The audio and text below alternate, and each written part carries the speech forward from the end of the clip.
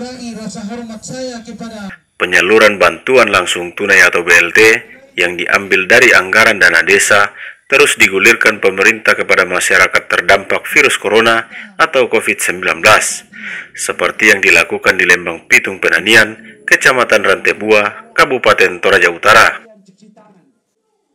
Penyaluran BLT dana desa tersebut dilakukan langsung Bupati Toraja Utara Kalatiku Paimbonan sekaligus untuk menyapa warga Orang nomor satu di pemerintahan Toraja Utara ini juga mendoakan masyarakat agar sehat, lahir dan batin, serta tetap mengikuti himbauan pemerintah. Kalatiku juga mengatakan pencairan bantuan langsung tunai melalui dana desa agar tepat sasaran dan juga Kalatiku mengajak semua pihak sama-sama bekerja keras, bergotong royong, agar seluruh warga yang berhak menerima BLT dana desa bisa terdata dengan baik.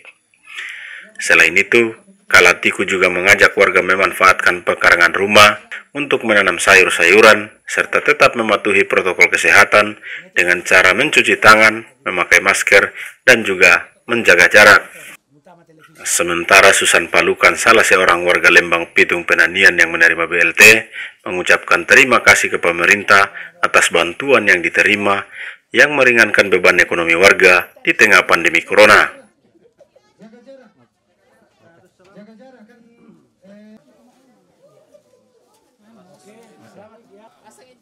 Oke, lihat sini Pak. Ya izin. Satu. Ya izin. Lihat sini. Satu.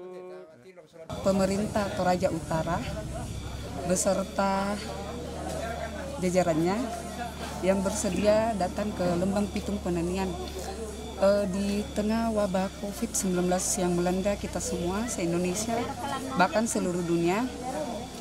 Dana BLT ini bantuan langsung tunai ini sangat berguna untuk kami masyarakat yang berada di Lembang ini. Terima kasih sekali lagi kepada pemerintah daerah Toraja Utara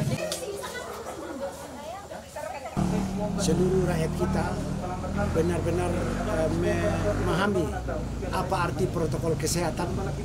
Dan karena itu semuanya pakai masker duduk di diatur jaraknya dan kemudian mereka sadar betul bahwa eh, setelah kembali ke rumah itu mereka akan cuci tangan.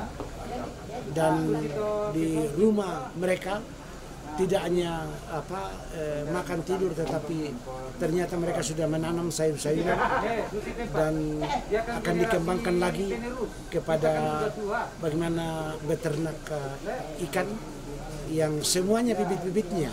Itu kita siapkan dari Dinas Perikanan Darat Kabupaten Toraja Utara termasuk juga untuk eh, sayur-sayuran eh, cukup lengkap bibitnya di bawah. Dan saya sudah bilang sama camat dan eh, kepala Lembang Pitung Penenen agar difasilitasi rakyat yang memang membutuhkan kegiatan-kegiatan seperti itu.